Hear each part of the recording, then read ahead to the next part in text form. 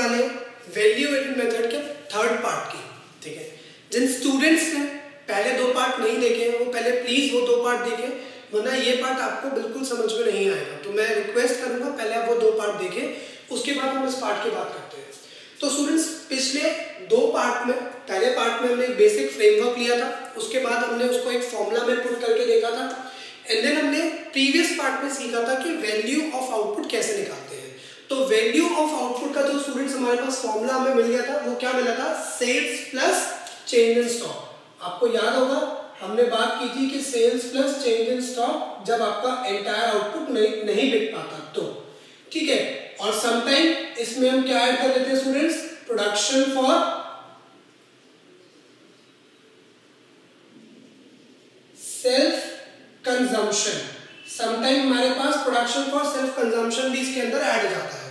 ठीक है? सो so, आज हम बात करने वाले हैं सेल्स की। सी सेल्स का मतलब क्या है? सेल्स का मतलब है जितना भी आउटपुट जो भी आउटपुट एक फर्म ने एक टाइम पीरियड मतलब एक अकाउंटिंग ईयर में बेचा। तो जितना भी आउटपुट एक फर्म ने एक साल के ड्यूरेशन में बेचा, चाहे वो एक पर्सन को बेचा हो, देखो लिखा हुआ हमने डिफरेंट बायर को और सिंगल बायर को बेचे।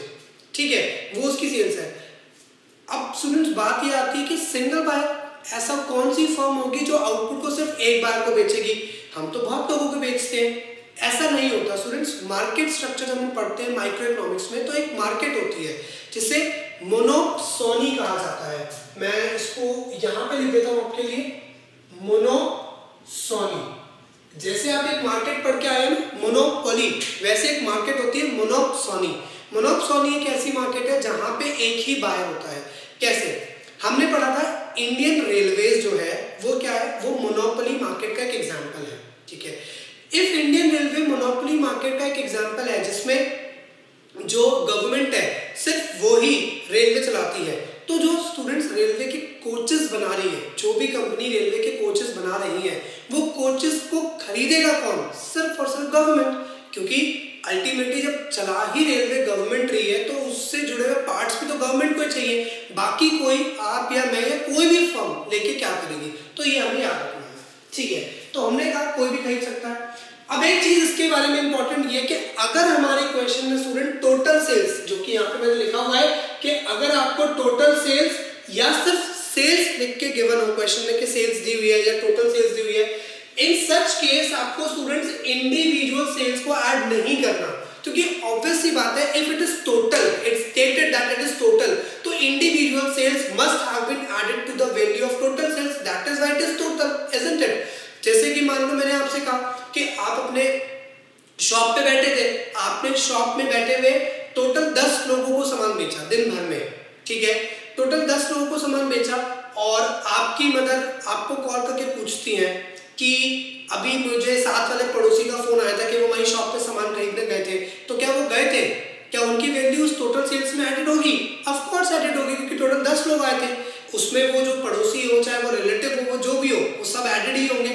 तो उस केस में स्टूडेंट्स हमें इंडिविजुअल सेल्स को ऐड नहीं करना। अभी हम देखेंगे न्यूमेरिकल की हेल्प से क्या है कह रहे हैं आपसे।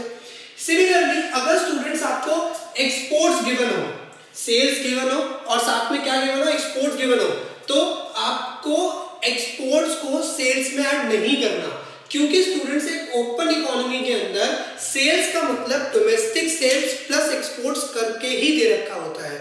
What do we mean by open economy open economy वो इकोनॉमी होती है स्टूडेंट्स जो रेस्ट ऑफ़ द वर्ल्ड के साथ ट्रेड करती है। जैसे कि आज ग्लोबलाइजेशन का टाइम पीरियड है तो ऑब्वियसली बात है globalization means integrating our economy with the world's economy with the global economies तो हम सबके साथ ट्रेड कर रहे हैं।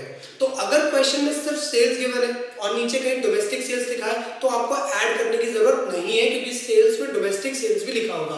हाउ अब बात कर लेते हैं, ये तो तब जब टोटल सेल्स और सेल्स गिवन थी। स्टूडेंट्स अगर टोटल सेल्स और सेल्स ना गिवन हो इन सच केस क्वेश्चन में डोमेस्टिक सेल्स गिवन है तो आपको डोमेस्टिक सेल्स में प्लस करना पड़ेगा स्टूडेंट्स एक्सपोर्ट्स को, ताकि आपको क्या मिल सके? ताकि आपको सेल्स की वैल्यू मिल सके। सिमिलरली अगर क्वेश्चन में sales to A sales to B sales to C sales to D ये भी गिवन है तो इन केस में सेल्स कैसे आएगी स्टूडेंट्स हमें सारी इंडिविजुअल सेल्स को ऐड करना पड़ेगा in order to get our total sales तो ये चीज़ हमें याद रखनी है, ठीक है स्टूडेंट्स इसको एक काम करते हैं हाइपोथेटिकल एग्ज़ाम्पल से समझते हैं, ताकि कोई किसी तरह का डाउट आपको ना आए, ठीक है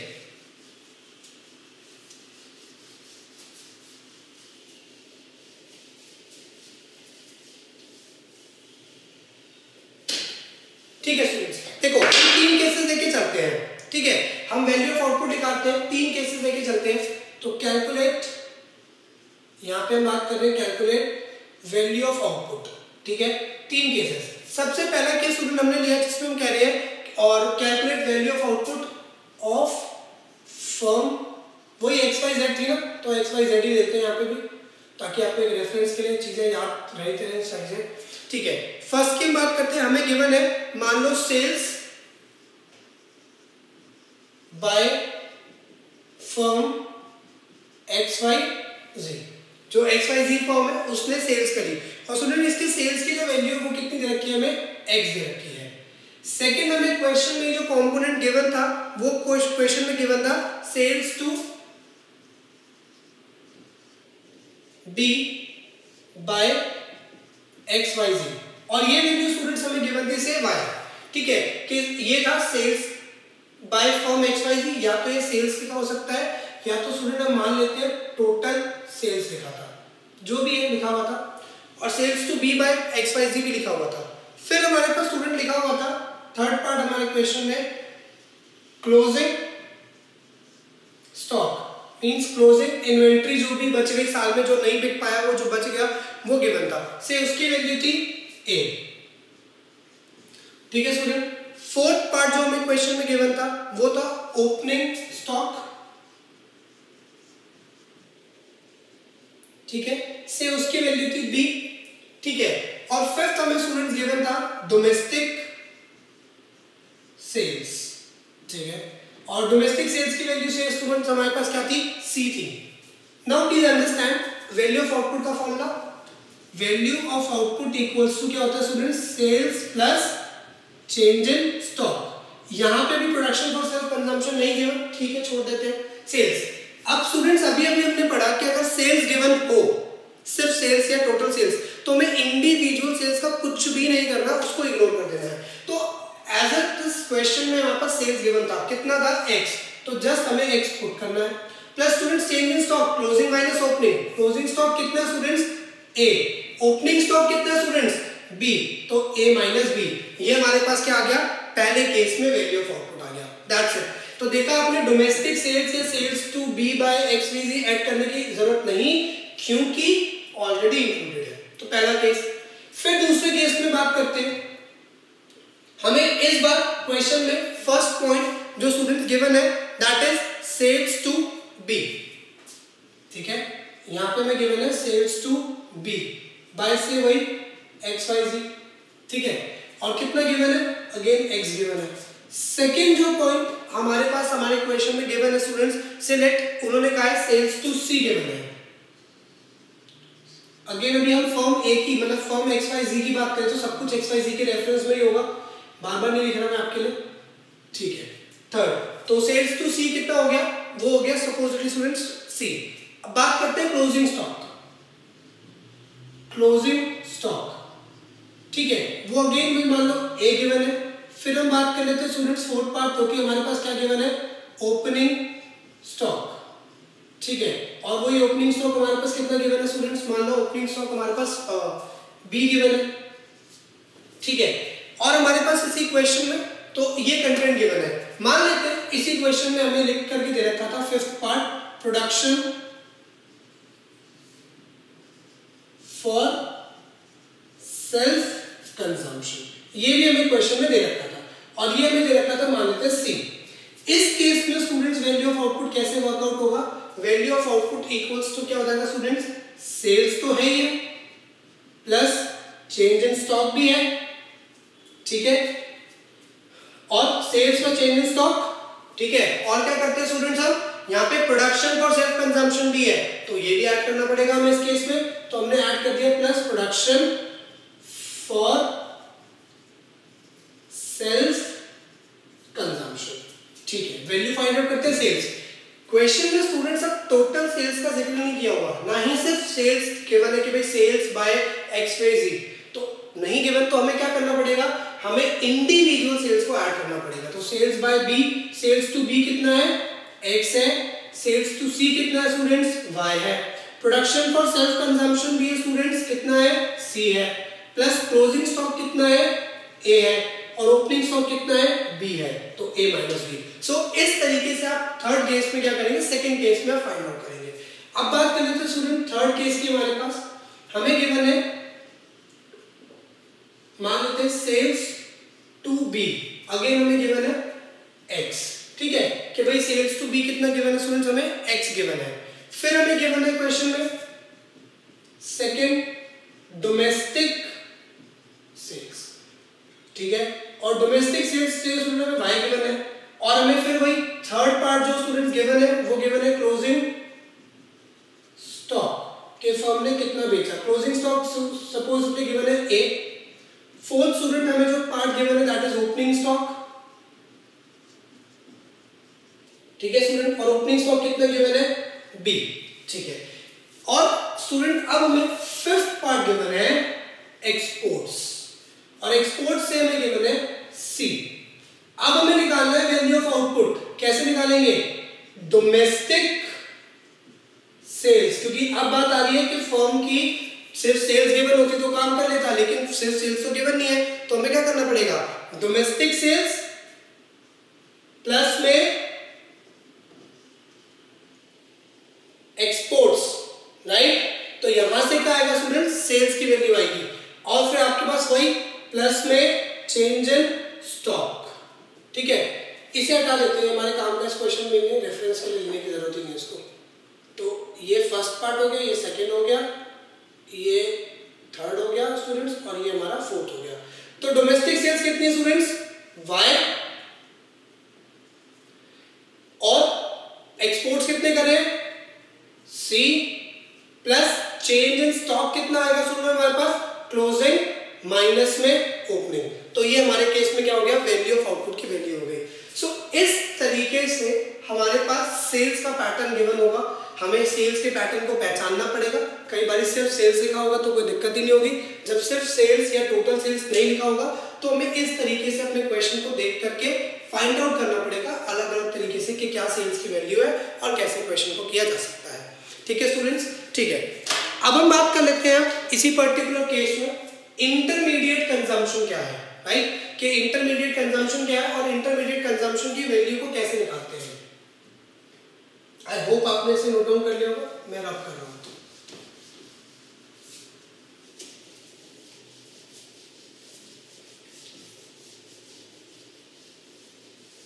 ठीक है स्टूडेंट्स तो अब हम बात करते हैं, अब हम बात करते हैं इंटरमीडिएट कंजम्पशन की। सो इंटरमीडिएट कंजम्पशन क्या है students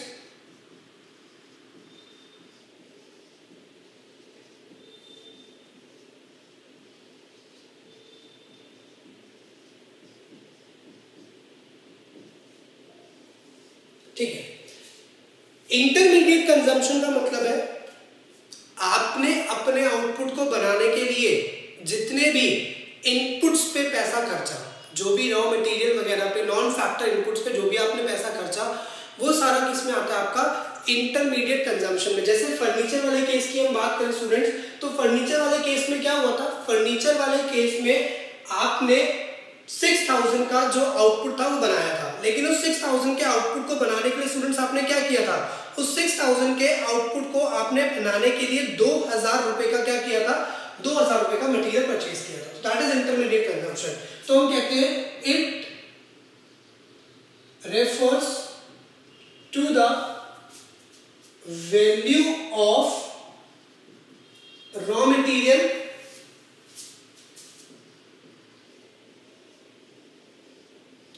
purchased by firm to produce output ठीक है? जितना भी रॉ मटेरियल तुमने खरीदा। Along with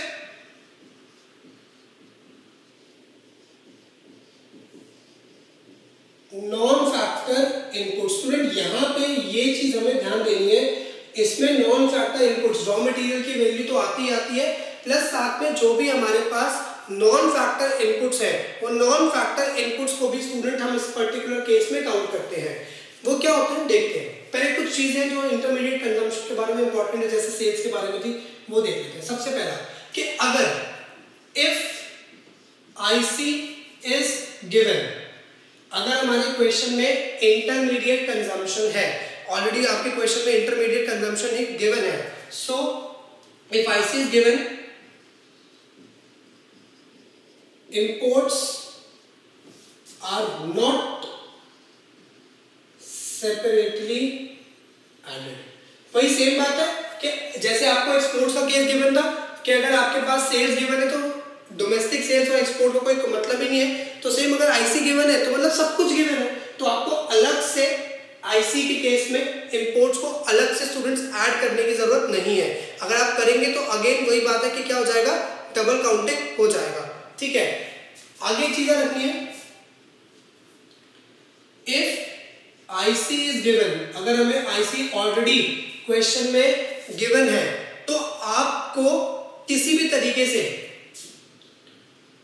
purchase of raw material और से इलेक्ट्रिसिटी चार्जेस जिसे कि हम नॉन फैक्टर इनपुट बोलते हैं स्टूडेंट्स इलेक्ट्रिसिटी चार्जेस ठीक है एक्सेट्रा आर नॉट एडेड अगर आईसी गिवन है तो सीधा आईसी के लिए लिखो और अपना क्वेश्चन करना शुरू करो। बाकी परचेजेस दे रखी है, ये दे रखा है। आपको उनको बॉदर नहीं करना है, उनको आपको टोटली इग्नोर करके चलना है। लेकिन if IC is not given if IC is not given ये तो दोनों केस हो गया आईसी गिवन था। अब आईसी गिवन नहीं है। तो हम क्या करेंगे? आईसी निकालने के लिए स्टूडेंट्स आईसी इक्वल टू क्या होता है?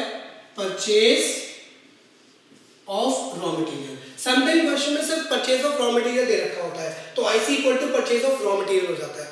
बट समटाइम क्वेश्चन में क्या होता है? परचेज ऑफ़ रॉ मटेरियल की जगह आपको इलेक्ट्रिसिटी चार्जेस जैसे कि पावर चार्जेस भी कहते हैं। इलेक्ट्रिसिटी चार्जेस लिखा होगा।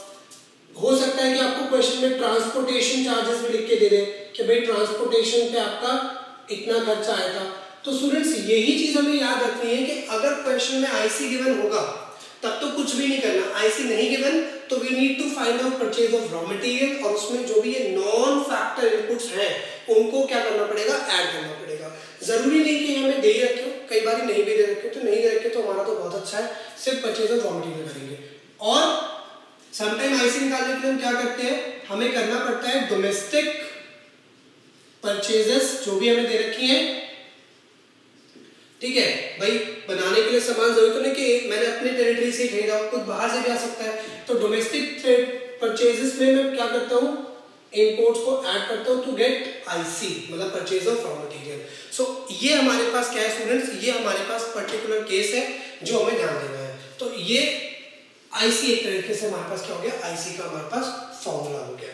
ठीक है स्टूडेंट्स सो ये पूरा फॉर्मूला हमने कंप्लीट कर लिया कि वैल्यू एडेड मेथड का फॉर्मूला कैसे काम करता है कि value of output minus IC ठीक है? सो so, एक बार पूरे फॉर्मूले को देखें। मैं इसे रब कर रहा होपफुली आपने नोट कर लिया होगा।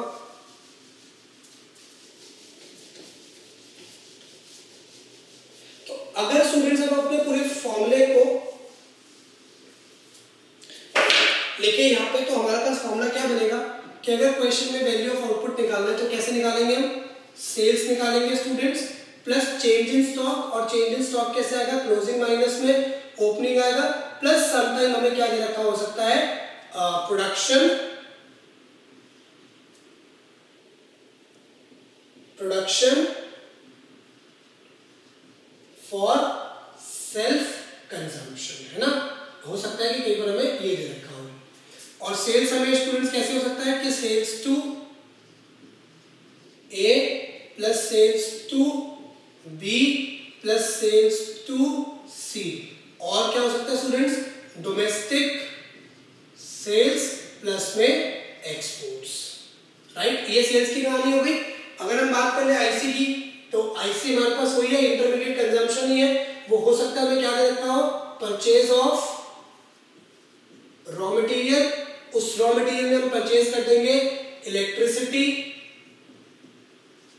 प्लस कर देंगे ट्रांसपोर्टेशन, या फिर एक तरीका हो सकता है कि हमें क्या रखा होगा? डोमेस्टिक परचेज प्लस में इंपोर्ट्स ठीक है स्टूडेंट्स जब हम ये सॉल्व कर लेंगे, पूरा का पूरा केस तो हमारे पास क्या आ जाएगा? वैल्यू एडेड आ जाएगा। फिर इस ग्रॉस वैल्यू एडेड को हम जिस भी फैक्टर में कन्वर्ट करना चाहें नेट वैल्यू में तो ग्रॉस में से माइनस करके डेप्रिसिएशन नेट में कन्वर्ट कर सकते हैं। फैक्टर कॉस्ट पे जाना है तो मार्केट प्राइस में से माइनस करके एनआईटी फैक्टर कॉस्ट पे जा सकते हैं। वो हम कुछ भी कर सकते हैं। बट स्टूडेंट इस मेथड के कुछ प्रिकॉशंस हैं। वो भी आप साथ साथ में देख लें कि कौन कौन सी चीज़ें जो इस मेथड को कैलकुलेट करते वक्त जीडीपी हमें ध्यान रखनी है। सबसे पहली चीज़ आपको ध्यान रखनी है टू अवॉइड डबल काउंटिंग अगर हमें डबल काउंटिंग से बचना है तो टू अवॉइड डबल काउंटिंग इधर वैल्यू ऑफ़ फाइनल गुड और वैल्यू एडिशन इज़ कंसिडर्ड सबसे पहली चीज़, या तो तुम वैल्यू एडिशन को कंसिडर करो कि एक से दूसरे में कितना एडिशन हुआ, नहीं तो आप सीधा फाइनल प्रोडक्ट की वैल्यू दोनों में से कुछ भी हो सकता है। तो पहली चीज़ हमें इस मेथड को देखने के लिए ये चीज़ याद रखनी है डबल काउंटिंग को देखने के लिए याद रखनी है। दूसरी चीज़ स्टूडेंट जो हमें इस मेथड में याद रखनी है, वो ये है कि sale and purchase of second hand goods must not be included ठीक है? सेकेंड हैंड गुड्स को आपको इंक्लूड नहीं करना है स्टूडेंट्स क्योंकि ये जिस साल पहली बार बन के बिके होंगे, उस साल के वैल्यू एडिशन में काउंट कर लिए गए होंगे। तो अगर आप इससे दोबारा काउंट करोगे तो again it will lead to double counting तो आपको ये दोबारा से अवॉइड करना है सेल और सेकेंड हैंड गुड्स को काउंट नहीं करना है। तो ये बात हो गई हमारी कि सेकेंड हैंड गुड्स को काउंट हमें नहीं करना है। इसके बाद हमें याद रखना है कि production of goods for self consumption अगर खुद की कंजम्पशन के लिए गुड बना रहे हैं तो मस्ट बी इंक्लूडेड उसको आप इंक्लूड करोगे। वो तो हमने देखी लिया फॉर्मूले में हमारे पास आ गया था, लेकिन स्टूडेंट एक चीज़ ध्यान देनी है production of services for self consumption not to be included अगर आपने अपने लिए कोई सर्विसेज़ जनरेट करी है, उसको काउंट नहीं कर सकते। लाइक आप अपनी मदर से ये नहीं जाके बोल सकते कि आपने मेरे कपड़े धोए हैं, आपने मेरे लिए खाना बनाया है, ठीक है? तो आप उसके इतने पैसे बनते हैं इतने पैसे ले लो। क्योंकि ये चीज़ें कभी मार्केट में एंटर करती ही। नहीं तो अगर ये मार्केट में एंटर करती नहीं तो इनकी मार्केट वैल्यू एस्टिमेट करना पॉसिबल भी नहीं है। तो students just be aware of that कि production for self consumption goods हैं तो काउंट किए जा सकते हैं, लेकिन अगर सर्विसेज़ हैं तो वो काउंट नहीं की जा सकती। तो ये चीज़ आपने याद रखनी है। So that is the whole method of calculating GDP by value addition अगर हम वैल्यू एडिशन की बात करते हैं तो ये पूरा ये मेथड हो गया, ठीक है। Let's just have a look कि जो हमारी गवर्नमेंट है, जो हमारा C S O N S O की जिसकी हम बात करते हैं, जो उनका डेटा है, क्या वो डेटा भी इसी मेथड पे बेस्ड है या उस मेथड में कोई चेंजेस है? तो अब हम बात करते हैं, जरा एक बार उसको भी देख लेते हैं कि क्या चीज़ें हमारे पास। हाँ जी स्टूडेंट्स आपको याद होगा, एक वीडियो अपने अपलोड करी थी history of national income and accounting India तो उसमें मैंने आपको एक चीज़ समझाई थी कि हमने क्या कर रखा है? हमने टोटल जितने भी अपने सेक्टर्स हैं तो हमने primary secondary tertiary sector right इन तीन सेक्टर्स को पाँच हेड्स के अंदर थर्टीन पार्ट में डिवाइड किया था। ये मैंने उसी लेक्चर में आपको समझाया था, जिसमें से मैंने आपसे क्या कहा था? Agriculture foresting fishing mining manufacturing construction जो ये सारे सेक्टर्स हैं, इन सारे सेक्टर्स में हम कौन से मेथड को यूज़ करते हैं? वैल्यू एडेड मेथड को मतलब वही मेथड जो अभी अभी हमने सीखा। तो देखते हैं, किस तरीके से, देखो यहाँ देखा भी statement the GD estimates uh, the GDP estimates in respect of agriculture forestry and lodging fishing mining and quarrying and construction are based on production approach. ठीक है? अब देखते हैं students ministry of statistics and programme implementation की CSO क्या या NSO आप मान लें नेशनल अकाउंट्स स्टैटिस्टिक्स की रिपोर्ट को कि जो मेथड अभी हमने पढ़ा कि क्या वही चीज़ें हैं। ठीक है? सी ये सोर्स क्या है? Ministry of statistics and programme implementation ठीक है? क्या है? National account statistics 2019 students I told you कि ये चीज़ हमारे लिए जीडीपी है और हमारे लिए नेशनल इनकम है। बट गवर्नमेंट के कॉन्टेक्स्ट में इसे क्या बोला जाता है? N A S that is national account statistics आप याद रखें, कभी भी आप इस तरीके से नेशनल इनकम में निकालेंगे तो नहीं मिलेगा। ये पूरी रिपोर्ट बनाई जाती है एक। उस पूरी रिपोर्ट के अंदर सिर्फ़ नेशनल इनकम नहीं कंट्री की personal income personal disposable income GDP output ratio GNP सारी चीज़ें कैलकुलेट की जाती है। तो वो जो पूरी रिपोर्ट बनती है, उसे हम क्या कहते हैं? नेशनल अकाउंट्स स्टैटिस्टिक्स ठीक है? जो अभी हमने बात बोली और जो पढ़ी, उसको देखते हैं एक बारी। तो output by economic activity student history में मैंने आपको पढ़ाया था, जब हिस्ट्री ऑफ़ जीडीपी पढ़ाया था, कि इनकम अप्रोच और प्रोडक्शन अप्रोच दोनों को मिला के क्या बोला जाता है? आउटपुट बाय इकोनॉमिक एक्टिविटी तो वही लिखा हुआ है। ठीक है?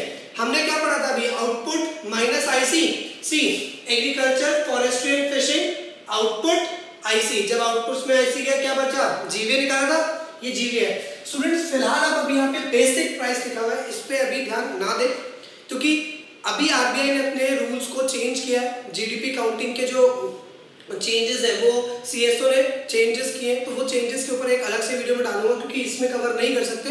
काफ़ी सारे चेंजेस है, उसके पीछे काफ़ी सारे रीजन है। तो फ़िलहाल आप समझे तो जीवीए ठीक है कन्वर्ट किसमें करना था स्टूडेंट्स को? नेट में। तो CFC now what do we mean by CFC that is consumption of fixed capital जिसे हम क्या बोलते हैं? डेप्रीसिएशन माइनस किया तो स्टूडेंट्स कहाँ पे आ गए? एनवीए पे. सिमिलरली माइनिंग एंड क्वेरिंग में भी सेम है. Output IC GVA CFC NVA ठीक है? आगे देखते हैं. यहाँ पे आपको सब कुछ बिल्कुल क्लियर दिखाई देगा.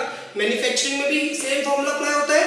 Output IC GVA CFC NVA right तो this is the thing this is the method how we calculate our GDP by economic activity that means a blend of value added method and income method आगे हमने income method के component दे रखे हैं। वो जब हम इनकम मेथड पढ़ लेंगे, तब हम बात करेंगे कि ये कंपोनेंट कैसे काम करते हैं। हमारा जो एक मेन कंसर्न था, वो मेन कंसर्न यही समझना था कि जिस मेथड की हम बात कर रहे हैं, जो मेथड हमने सीखा, क्या वही सेम मेथड कंट्री अप्लाई करती है अपने आउटपुट को निकालने के लिए तो ऑफकोर्स वही करती है।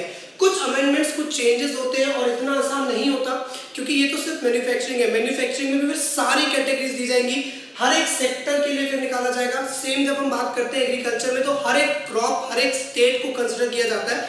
मतलब फॉर्मूला वही है बट कंट्री के लेवल पे कॉम्प्लेक्सिटीज थोड़ी सी ज़्यादा बढ़ जाती है। ठीक है? थोड़े बहुत चेंजेस आते हैं। ऐसा नहीं है कि हमने पढ़ाया कुछ और जा रहा है और प्रैक्टिकल वर्ल्ड में एप्लीकेशन किसी चीज़ की, इस मेथड की किसी और तरीके से हो रही है। एक चीज़ स्टूडेंट मैं आपको चाहूँगा, ध्यान दे। दो पहले बात कर चुके हैं, फिर फिर भी यहाँ पे रिपोर्ट है तो रिपोर्ट को एक बार देख लेते हैं। यहाँ पे स्टूडेंट्स आप एक रिपोर्ट देखिए। रिपोर्ट में क्या लिखा हुआ है? Output by economic activity and capital formation by industry of use ठीक है?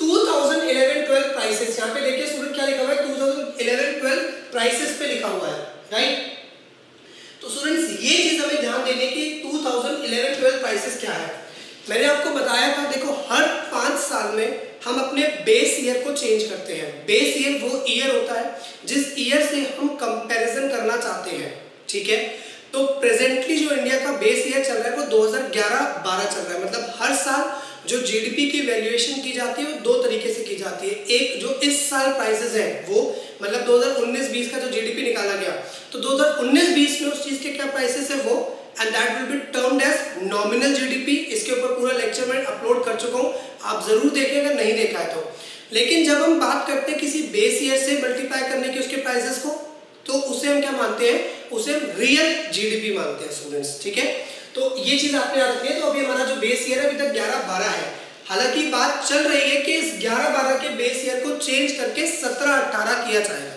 ठीक है?